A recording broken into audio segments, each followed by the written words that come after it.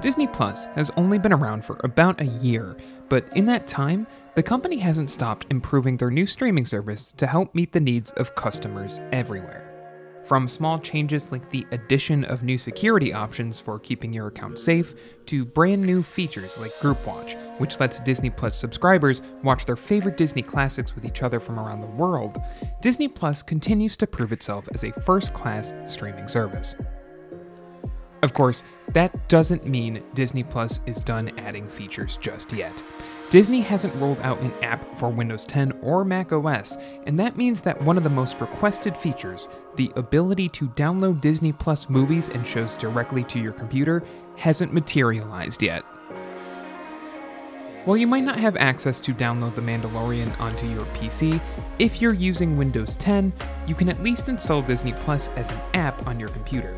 You won't get the option to download and store movies right on your laptop for on the go offline viewing, but at the very least, you can keep a dedicated app right next to apps available on the Microsoft Store, like Amazon Prime and Netflix.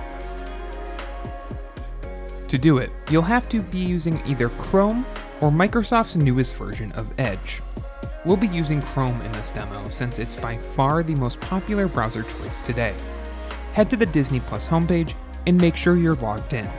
Then select the menu icon in the top right of Chrome. Hover over More Tools, then select Create Shortcut. Rename the shortcut if you want, then check the box to open your shortcut as an independent window. Disney Plus will now appear as a PWA or Progressive Web app on your computer, complete with its own taskbar icon and location within your Start menu. Progressive web apps actually do support safe and encrypted downloads, so it's totally possible for Disney to add support for downloads through this feature down the road. It's also possible to save Disney Plus as a shortcut in Chrome on Mac, though it will only appear in your Chrome apps list and not in Mac OS itself.